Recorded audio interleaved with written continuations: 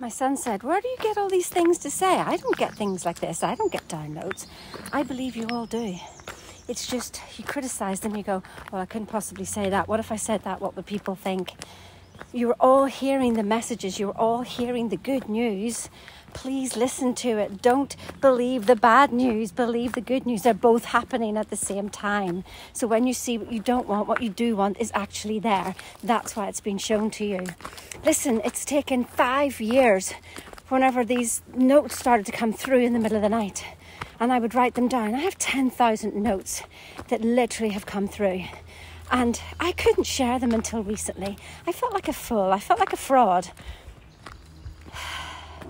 It takes time. It's okay. Listen to the good voice.